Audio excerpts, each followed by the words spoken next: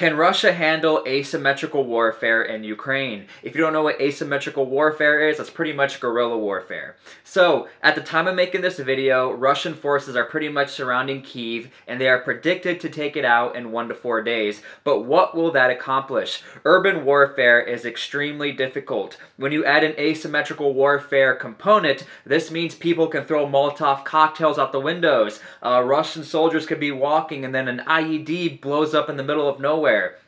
This is not something that Russia is indicating they want to do for this one reason. Uh, the Kremlin and President Putin is saying he is willing to talk in Belarus to the leadership of Ukraine to go over negotiations for a ceasefire. Now, this is a very, very important detail because this shows that Russia does not want another Afghanistan. From a military standpoint, this whole invasion into Ukraine is really not that impressive from Russia. In fact, it's actually very shocking to say the least. When Russia initially started the invasion, they did their peppering of their missiles all over the country.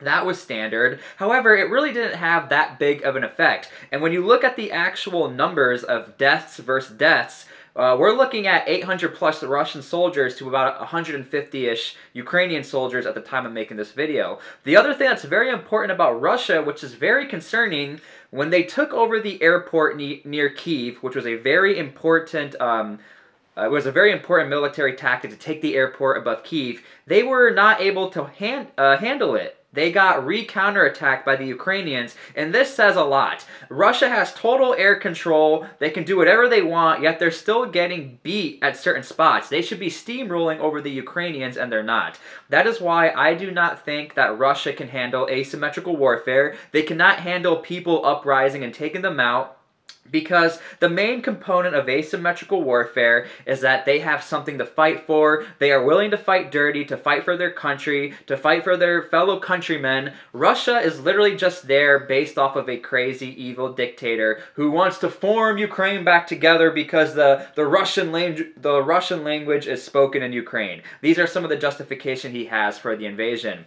So we will see what happens. Again, it is showing indication that Russia does not want another Afghanistan because because Ukraine will be a hundred times worse than Afghanistan.